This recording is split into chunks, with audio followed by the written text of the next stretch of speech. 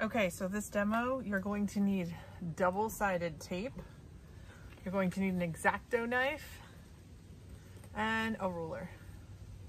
For your cutting mat, which I don't expect you to have, you can use um, like a cardboard box that you unfold or like an old piece of wood or something to protect the table underneath. When you cut with the X-Acto knife, you don't want to cut through to the table underneath and ruin it. So that's why we use a cutting mat in class.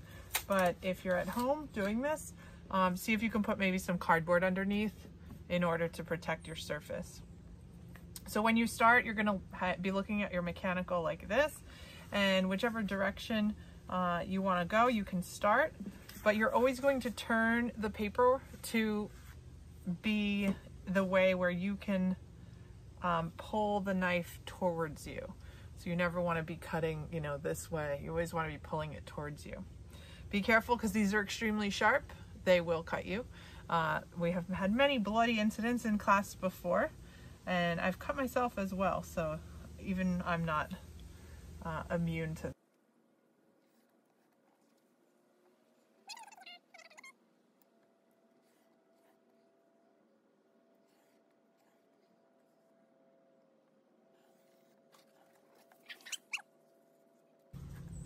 Okay, now I've got all my verticals and horizontals, and now it's time to do the angled parts.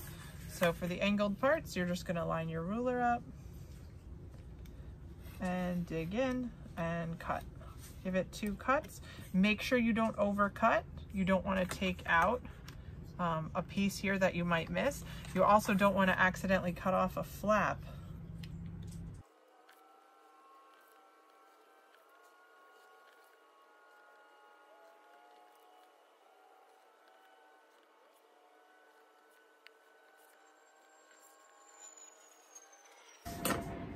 When you're done, you're going to simply peel off the excess. Oh, I missed a spot. the last piece.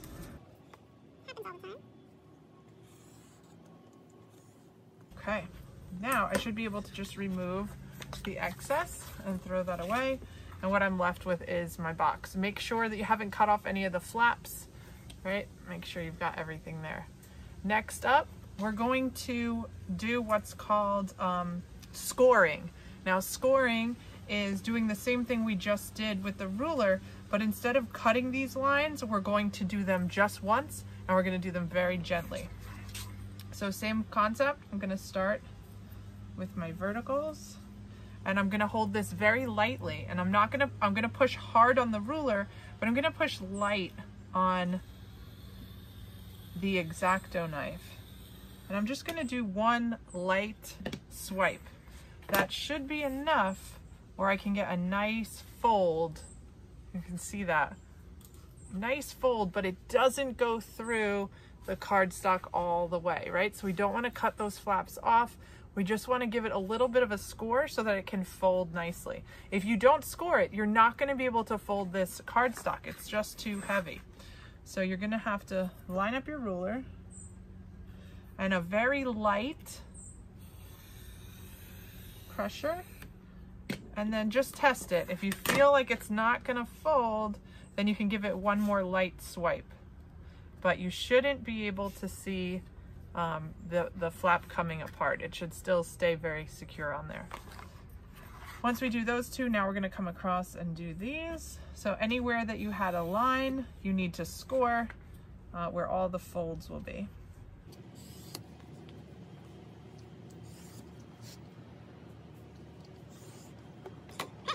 Once you've got all your scores done, you should be able to start to fold up the box and it should start to take shape.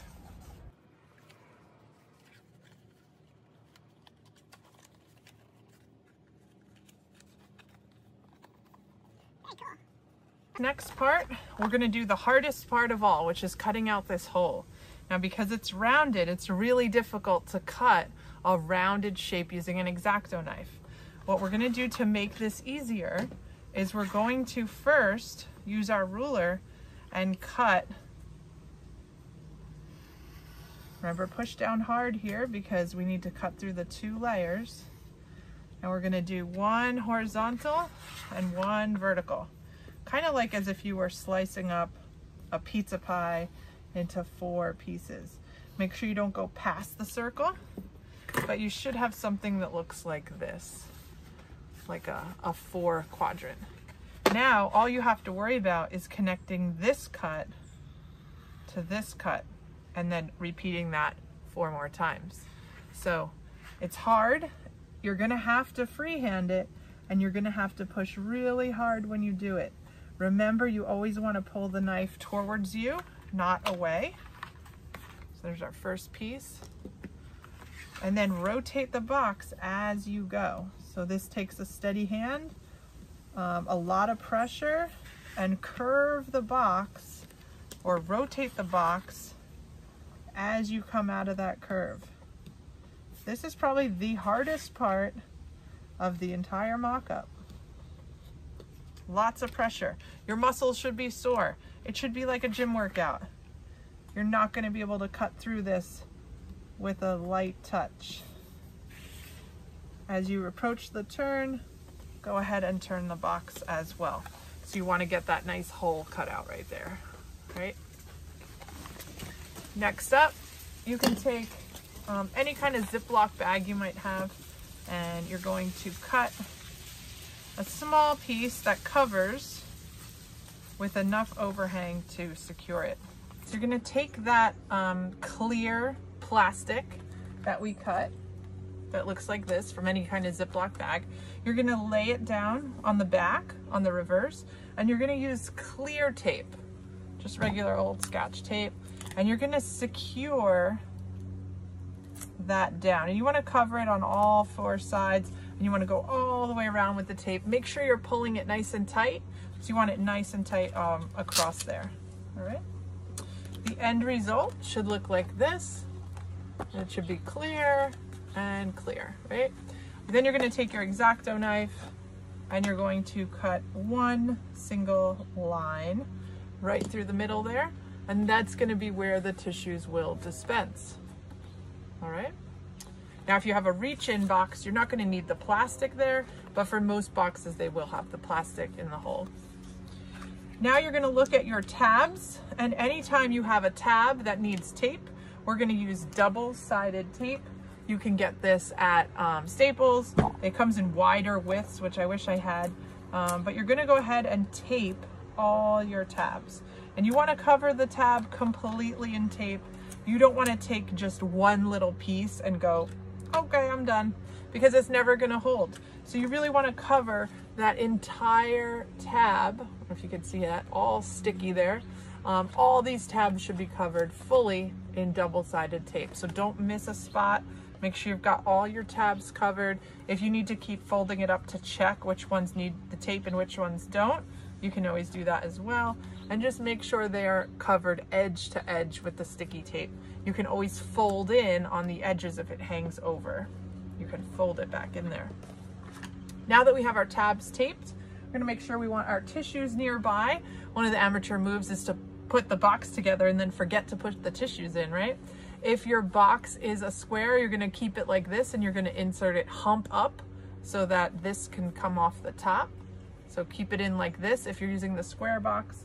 If you're using the, the rectangle box, they can just be flat like this with one tissue out the top. So this is a flat box. So I'm gonna start by folding up one of these sides. And you really only get one shot here, so make it a good one.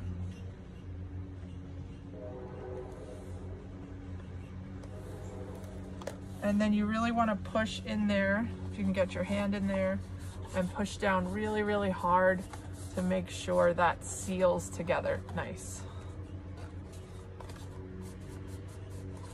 So you can see inside there, I'm kind of like rubbing where uh, this edge is. Just really seal it up in there. Okay, once we've got that done, we're almost there. We just have our side flaps to go. But we want to, for, don't forget to put our tissues in, okay? So I'm to put these in here, slide them in, and then I'm to pull one tissue out the top and then let it go like that. So that is a functioning tissue box. And now we just got to close up the sides. So we're gonna figure out which ones fold in first, second, and third. Again, try to get your hand in there to push against that back wall if you can to really make sure it stays on nice and secure. And then same with this side. We're gonna fold in, fold this one in, and then bring this one across. Everybody might have a little bit of a different uh, flap situation, but for the most part, uh, we might even be able to get our finger in from the hole up here and push in. So you really wanna make sure that tape is stuck really well. And now we have a working tissue box created by you and totally functional. Super cool. That's it.